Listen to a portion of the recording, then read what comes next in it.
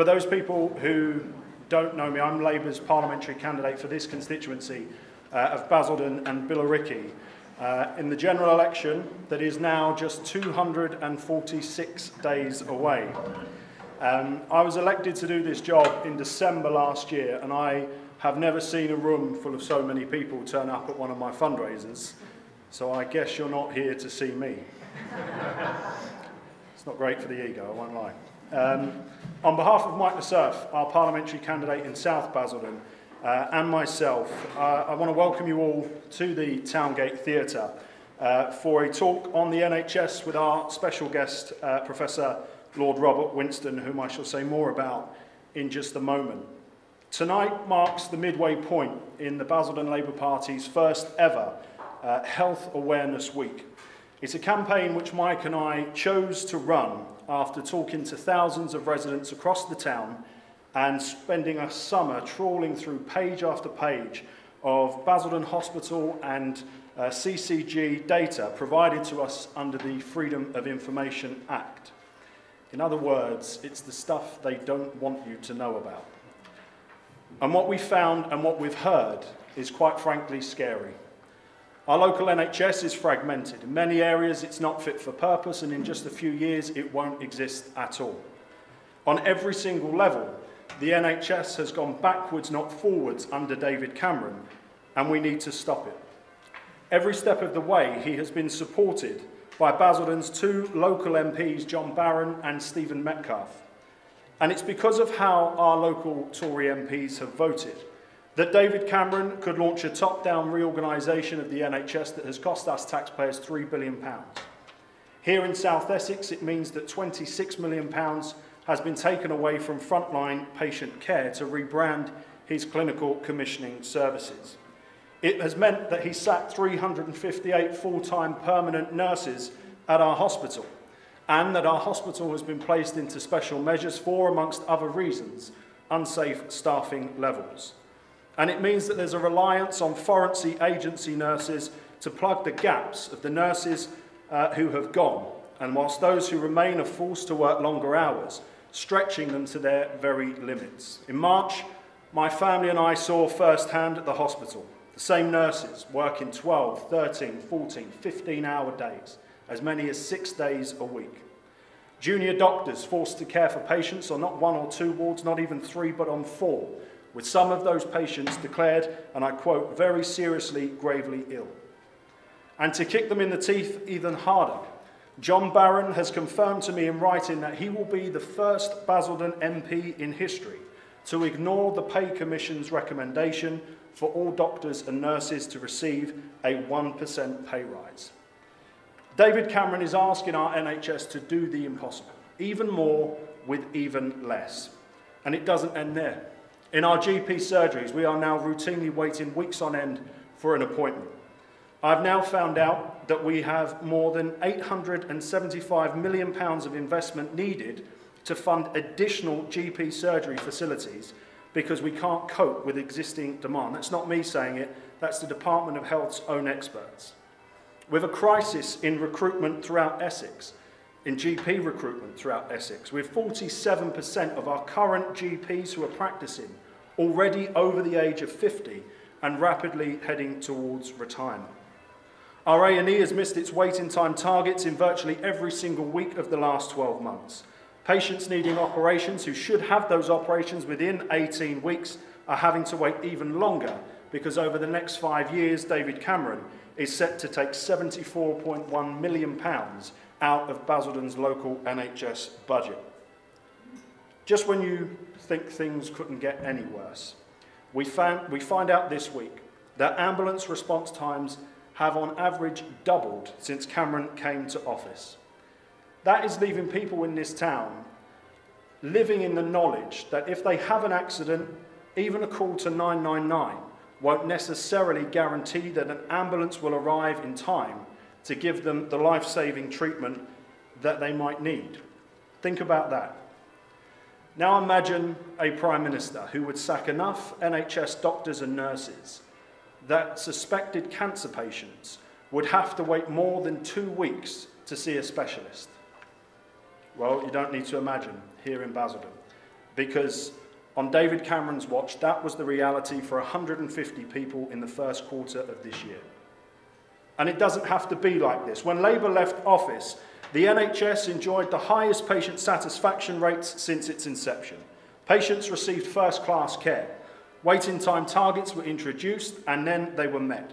Cancer deaths had reduced by 56,000, record numbers of doctors and nurses in our hospitals and GP surgeries. Today, our NHS is in crisis. We have the lowest patient satisfaction rates in Basildon since John Major was Prime Minister. Almost 50% of services are moving into the private sector. Restrictions are being placed on more and more treatments, and healthcare free at the point of use is very much in jeopardy. The NHS wasn't like this in 2010, and it doesn't have to be like this in 2015. What Mike and I have uncovered over the last six weeks has led us to two conclusions. Firstly, under no circumstances can you ever trust the Tories with the NHS. And second, and it's a very simple conclusion, what is going on in Basildon's NHS just isn't right. And we want you to vote for us so that we can change it. In May, if you elect Mike and I, this is what we'll do.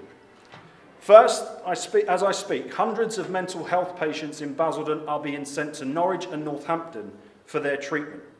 We'd end that by bringing mental health services back to South Essex and making healthcare provision in our town more joined up.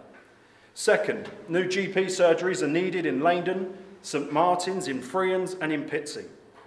According to Hansard, our two Tory MPs have never once mentioned this on the floor of the House of Commons in the four and a half years that they've represented this town. Vote for Mike and I. We will lobby the government every single week until it happens. And if you make us, uh, make us your MPs, we will walk through the lobbies of the House of Commons and vote to repeal David Cameron's Health and Social Care Bill, which has privatised more of the NHS in the last four years than we have seen in the last four decades. You see, your local MPs, Mike and I, want to return to a Basildon NHS that is relentlessly focused on saving more lives, stopping more pain and distress, treating patients even better, making the National Health Service an institution the envy and pride of the world. I believe that Labour's plans for our health service, the introduction of whole person care, integrating the social, physical, and mental aspects of the service, combined with the advances in science and technology, has the potential to be one of the most exciting projects happening in our country for decades to come. It's why I'm grateful to our special guest for answering my call to come and address you here in Basildon tonight. Professor Winston has spent his life defending the NHS, its values, its principles, and its place in modern Britain, as well as dedicating his life to the advancement of crucial medical research. Lord Winston is a Professor of Science and Society and Emeritus Professor of Fertility Studies at Imperial College London, as well as Chancellor of Sheffield Hallam University. He has visited and guest lectured at more UK universities than any other academic in recent years. He has authored more than 300 scientific publications, and his Queen Charlotte Appeal raised over £13 million to build and equip the most re advanced reproductive research centre in Europe, with space for 130 scientists and doctors working to improve the health of women and babies. As a member of the House of Lords since 1995, he speaks on science and healthcare, adding some of the most articulate arguments of any parliamentarian to debates on reforms of our health service. You may know him from his BBC science programmes such as Your Life in Their Hands, Child of Our Time, and Human Minds. I'm honoured and privileged that we have a man of his stature here eventually as a guest of the Basildon Labour Party tonight. So please put your hands together and welcome Professor Lord Robert Winston.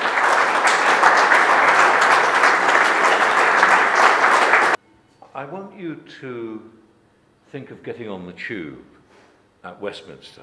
Westminster, as you know, is on the District line, and it's also on the Jubilee line. District line's fine. If you get on the Jubilee line and you go east, i.e. in the direction vaguely of Basildon, and you get off at Canning Town, that's a distance of just seven miles. And the interesting thing about that seven miles is that in Westminster, the average longevity of the average male is around 78 now. And in Canning Town, you travel seven miles and it's seven years less. Okay. Now, throughout the United Kingdom, there are extraordinary inequalities in healthcare. The worst example, actually, is probably in Coulton in Glasgow now. I know that that's rather an interesting issue this week and next week. Um, I hope we don't devolve Scotland completely to its own thing. It's very interesting that actually Coulton probably has the worst death record for males in any civilized country. In fact, in Coulton, the male longevity is about 54. Amazingly, it's actually lower than it is in Mozambique, lower than it is in Mali, lower than it is in at least half a dozen very poor African countries. That's the United Kingdom, ladies and gentlemen. Sorry, you want the microphone? Yeah. So that, that's the United Kingdom. Now, one of the real issues then is that we have this extraordinary, unequal health service, which is actually no longer national. And the key thing that's really happened, the biggest single injury, in my view, unquestionably, and this is not because I'm a politician, I don't see myself as a politician, I see myself basically as somebody who tries to be reasonably expert in the field I can be and to offer advice when I can do. And the House of Lords, House of Lords at its best is actually not very political. The key injury was in 2012 when Lansley produced the social care, social, um, sorry, the, the health and social care bill, which became an act of parliament just two years ago. Now, the full effect of that act of parliament, in my view, has not yet finished. But it's a disaster. In my view, it's a shocking, shocking piece of legislation. And there are a number of things about this which are very, very influential. And I think you need to consider very carefully how you vote in the next election because of that massively important bill.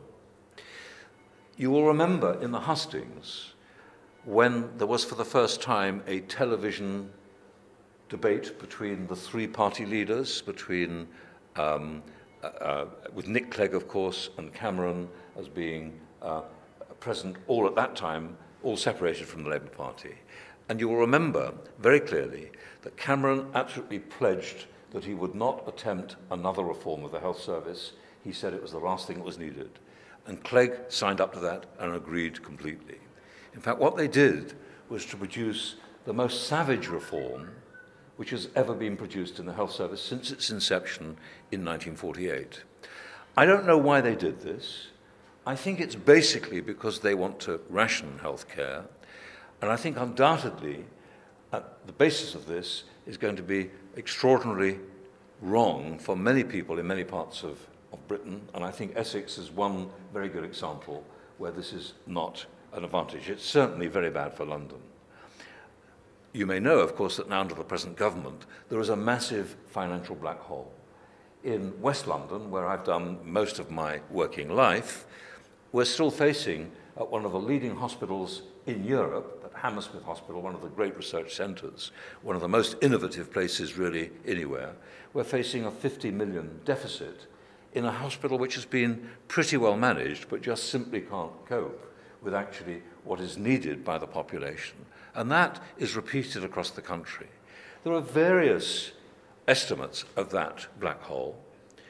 Um, the very least is that it's probably about 3 billion. The other end of the spectrum, it may be as many as 20 billion. Now, every single one of you in this audience, myself included, I'm now in my 70s, all of us are going to get old. Last week, my neighbor, um, whose husband had been ill for about three years in care, uh, with Parkinson's disease and unable to get out and no longer able to be nursed at home, was admitted to a major London teaching hospital. He ended up in coma, and it was obvious that he was going to die. Uh, Don died last week. I went to his funeral. Well, the funeral was last week, and he died the week before that. When he was dying in that teaching hospital, his wife went to see him every day, of course, where towards the end, when he was unconscious, she kept on talking to him. Now, just for your information, uh, most of you presumably are not medical or nursing, but you should know that the last sensation that we lose is our sense of hearing and the ability to understand even when we seem to be deeply comatose. That work was done by a man called Owen in Cambridge, and he showed that people, even people who were completely in a vegetative state, had responses in their brain showing that they could understand what was going on around them. That's absolutely clear. And that should be embedded in the knowledge of every single nurse, for example.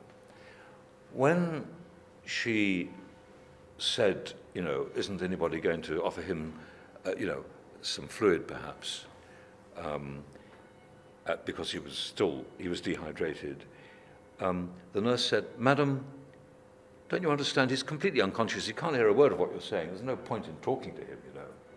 I don't know why you're here. And she walked off. My neighbor went to see her and said, Look, you know, he's lying in bed. He's not been washed. He's not been shaved for five days. Um, can, something, can you do something about that? This is not my job. I'm busy with the paperwork on the desk. So if you want that to happen, go and speak to the ward orderly. He's supposed to be doing that. So she goes to the ward, orderly, and the ward orderly says this to this woman who's now a widow with her dying husband in front of the man. She says, He's not my top priority at the moment, and walked off. That's the health service, ladies and gentlemen, that we are creating. It's a health service which is not fundamentally focused on the most important issue. And you know what the most important thing is? When I was a medical student, you know what I learned? There's one gesture you never make in front of a patient. It's not raising two fingers, by the way, or raising your middle finger like a motorbicyclist. Do you know what it is? It's this looking at your watch, not listening, saying that you're in a hurry, you can't cope. But now, of course, what's happening with the increasing changes in the health, health service is that it's becoming more and more administered, but not managed. So this Health Act means that now nurses no longer look after patients or feed them. They don't actually wash them. They're sitting behind a desk, they're filling in forms, and that's what they do most of the time. And those are the backbone of our health service. And that's increasingly how they're being taught to nurse. So, in fact, now, when, you when you're old and you're in hospital, you may sit in a four bedded ward, or you may sit in your own feces.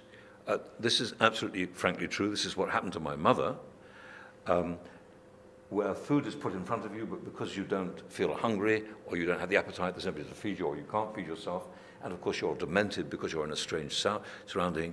And actually, basically, the nurses are almost waiting for you to just simply go into that coma. That's increasingly what's happening with old people. And we see that really more now in the health service, in my view, than we've ever seen it.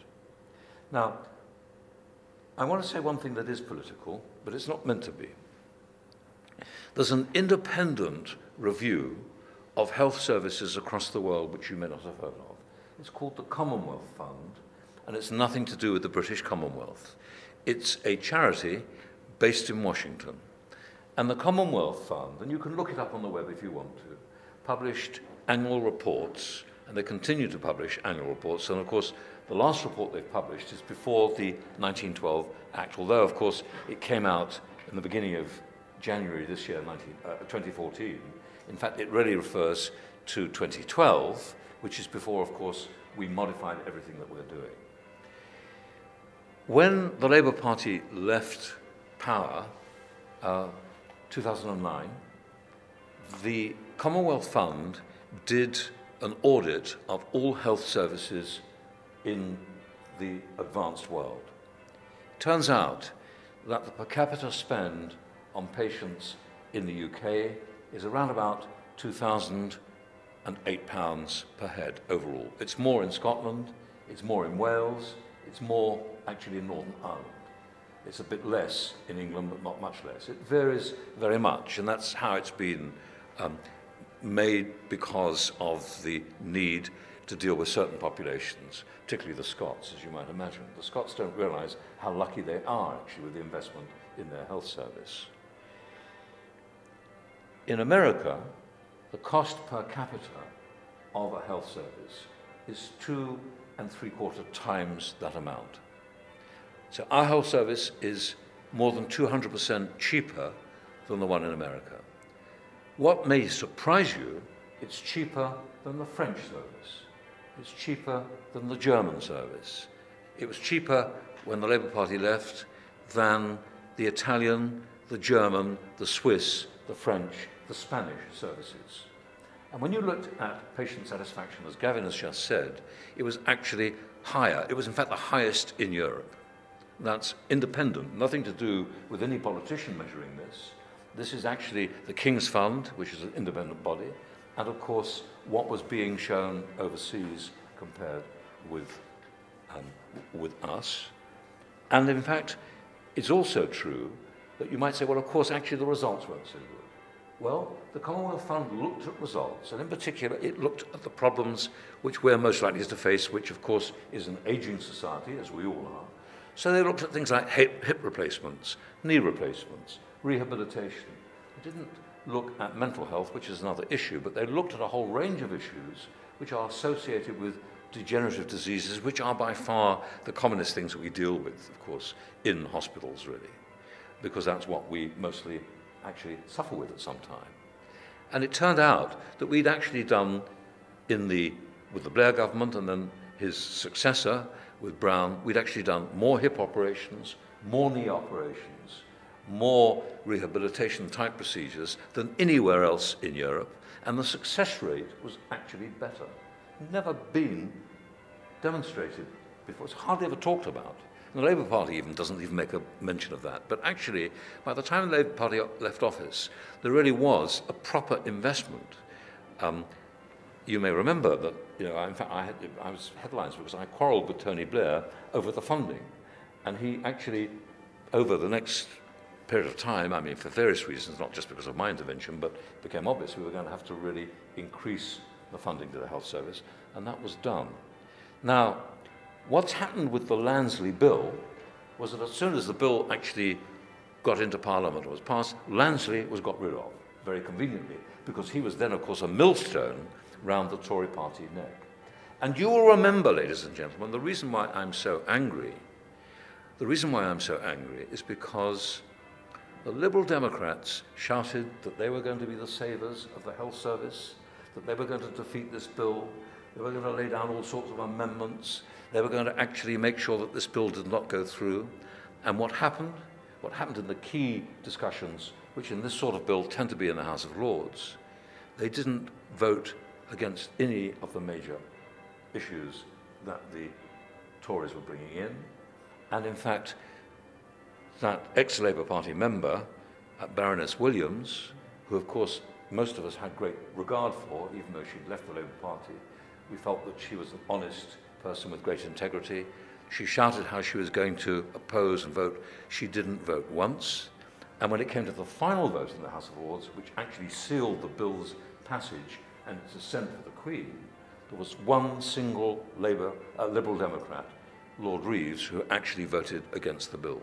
That was how we were let down by Clegg and his mates.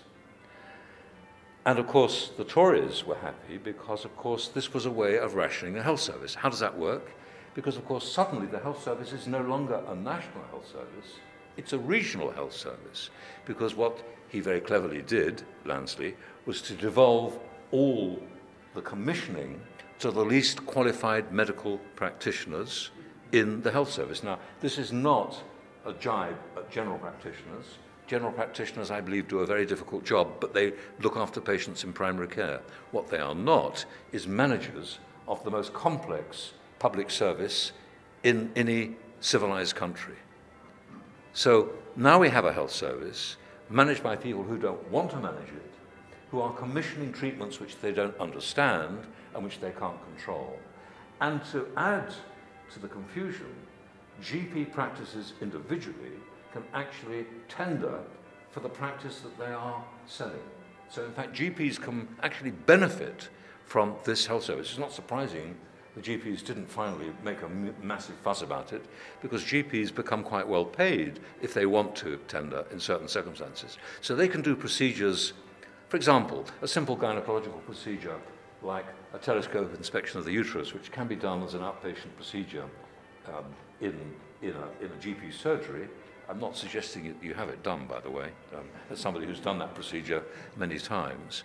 But it will be done rather inexpertly, but it can be done, and it can be done relatively more cheaply. But actually, of course, whether you'll miss the cancer in the uterus, which you're supposed to be looking for because you've never seen one before, because you're not a gynecologist, doesn't matter.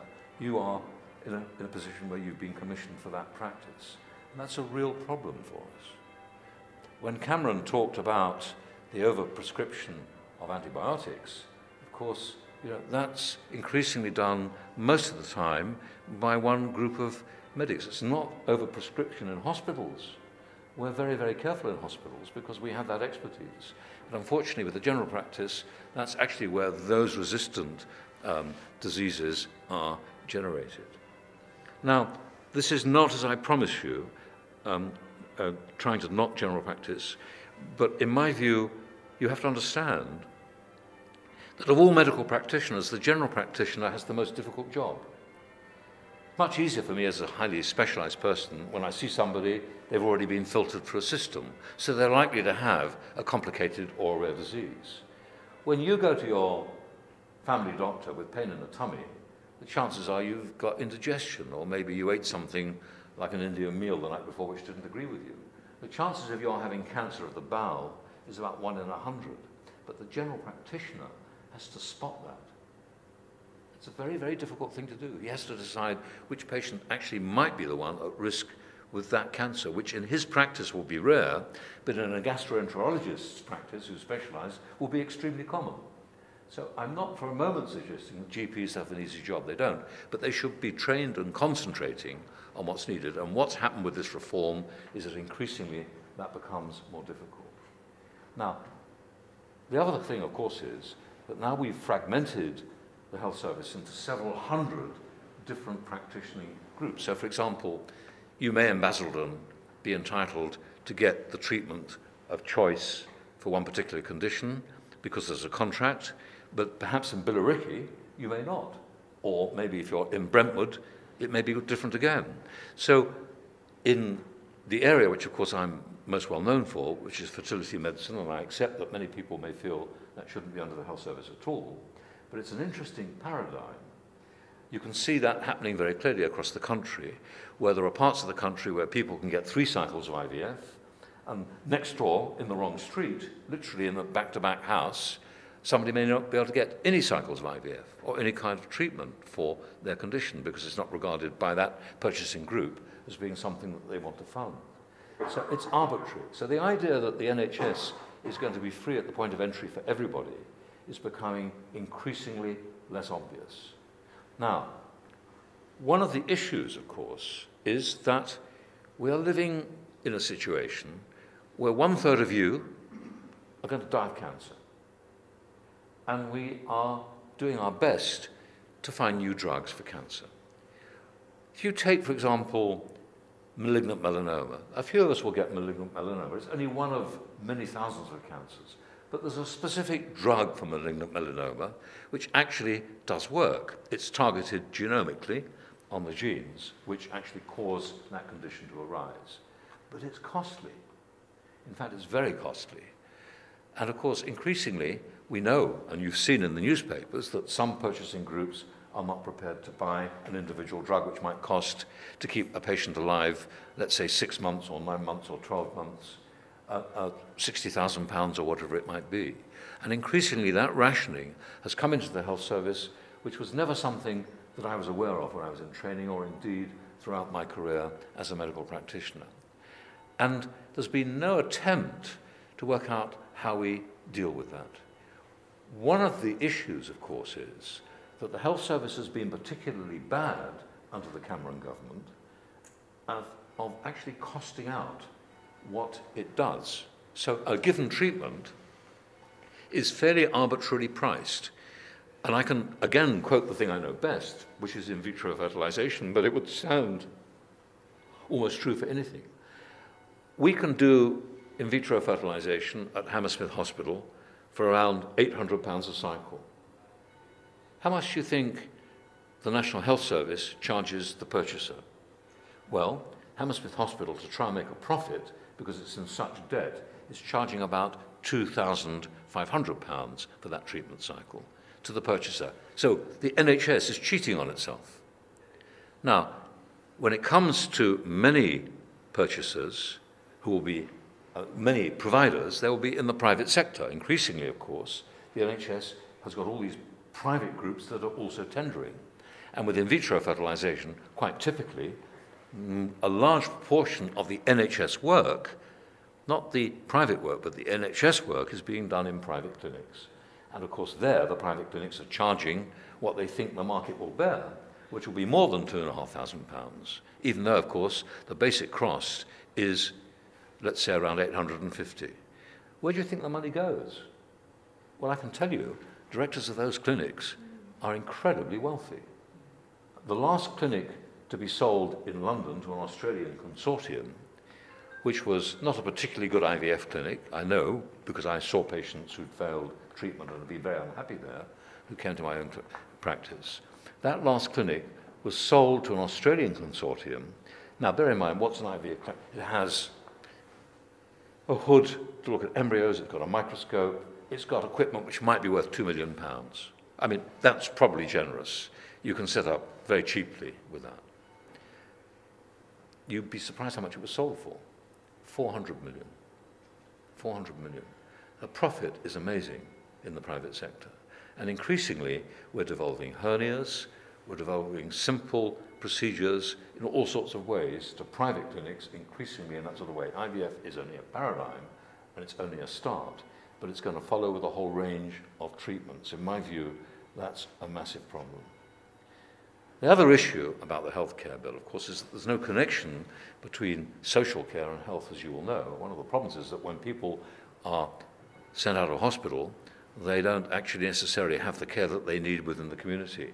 The worst example, of course, is in the communist area completely. The one area where we do fail miserably in the United Kingdom, regrettably, is in mental health. And mental health actually is, I think, perhaps the most serious problem of all. Because something like one in four of us will suffer from clinical depression. Uh, many of us will have other conditions like that. Many children have these problems.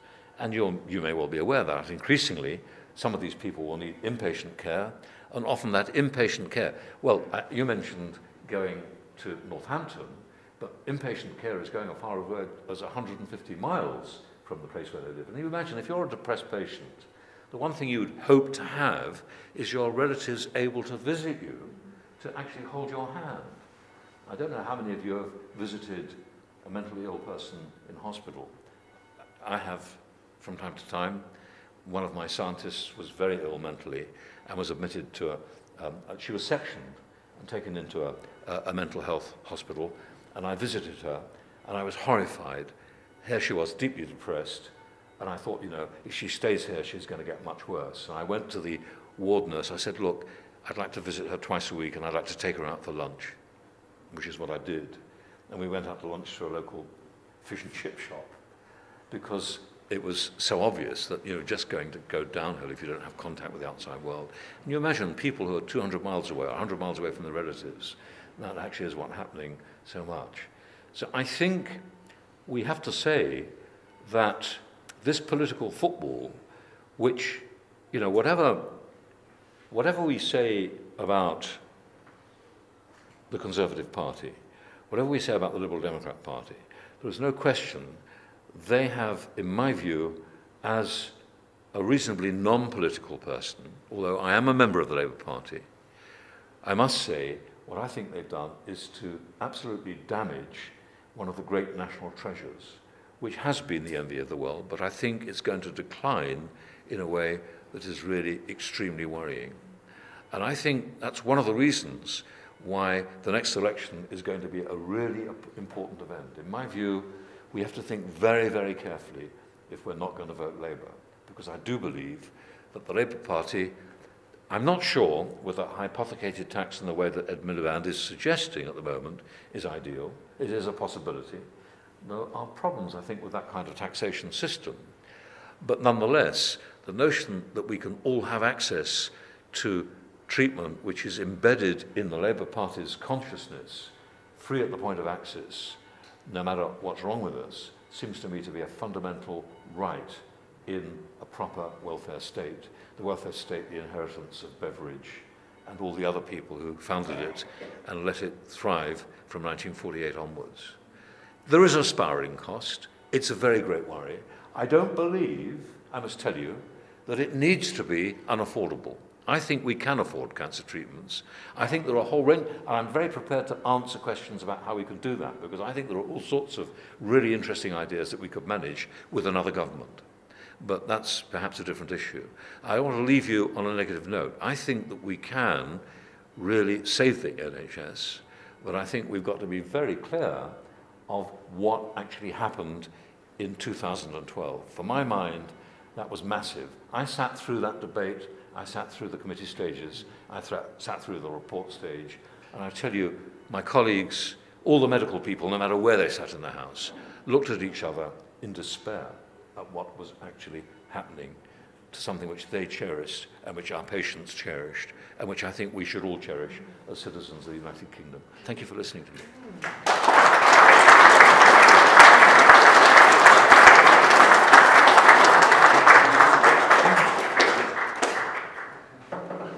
Thanks to Lord Winston for, um, for that speech. I think from Mike and I's point of view, the case and the, the kind of the challenge has been set down. We have to make next May about the NHS and we have to make sure that that message of what this government has done and what it will continue to do uh, really has to get out there. And we know it's difficult. Last time I was in this building, I walked out and there was 11 UKIP councillors just recently elected.